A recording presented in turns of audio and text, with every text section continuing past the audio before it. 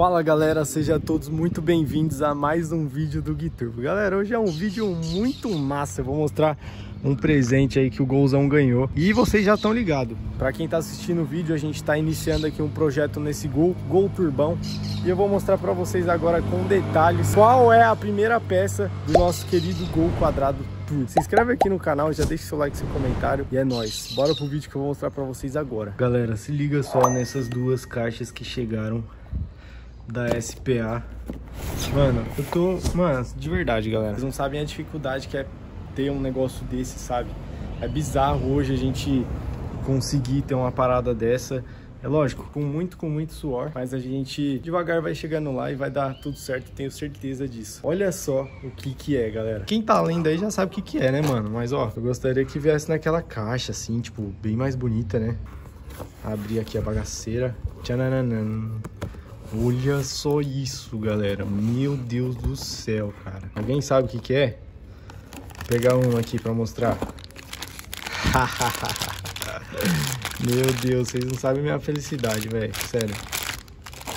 É, galera, a gente lançou um kitzão aí forjadão pro Gol.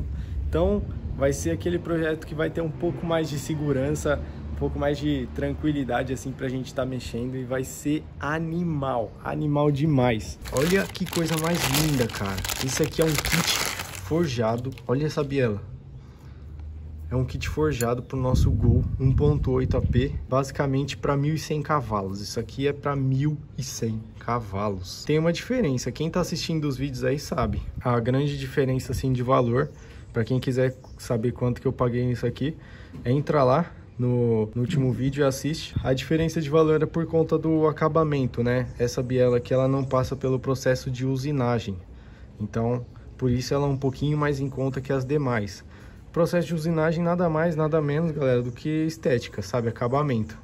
Mas tá linda, perfeita. E aqui nessa outra caixinha, se liguem, manos.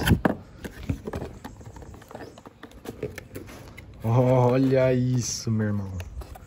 Meu Deus do céu. Aqui é o pino forjado. E aqui o nosso querido pistão. Olha só, que louco, mano. E é super leve, galera. Isso aqui é um aço forjado, né? A biela é de aço forjado. E a, o pistão é de alumínio, se eu não me engano. Muito bem, bem feito, velho. A gente pegou lá na SPA, como vocês já viram aí. E um negócio legal pra mostrar pra vocês, ó. Vem com o manual certinho, justamente com a folga certa, do pistão. Tá vendo? Sport Comfort até 88.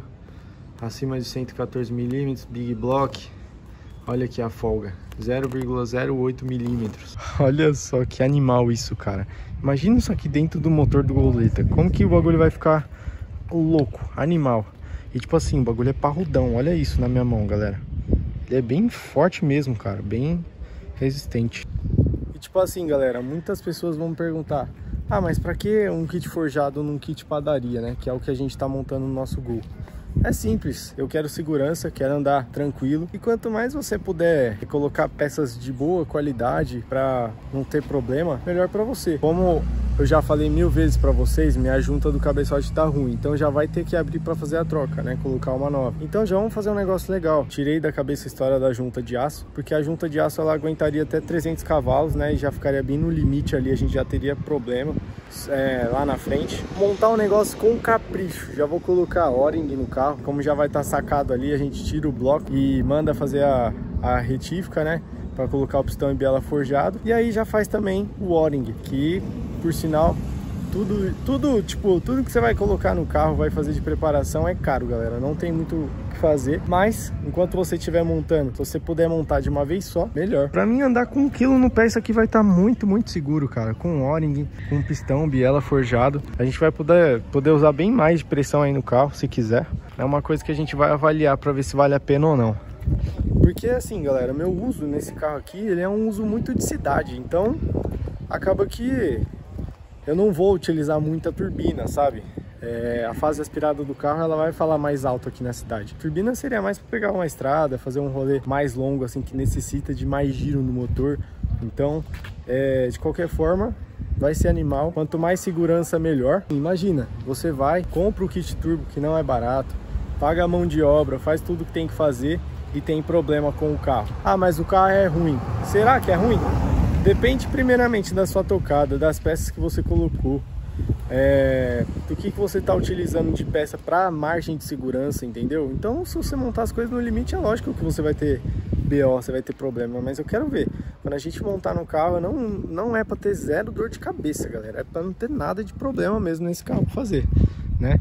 Então, tipo assim, a galera vai falar, ah, mas é desnecessário, é um dinheiro desnecessário num carro que vai andar com um quilo de pressão. Será que é desnecessário? Tipo assim, todo mundo fala, pistão e biela de AP 1.8 aguenta muito bem. E é verdade, não é mentira. Tipo, aguenta mesmo, muita pancada.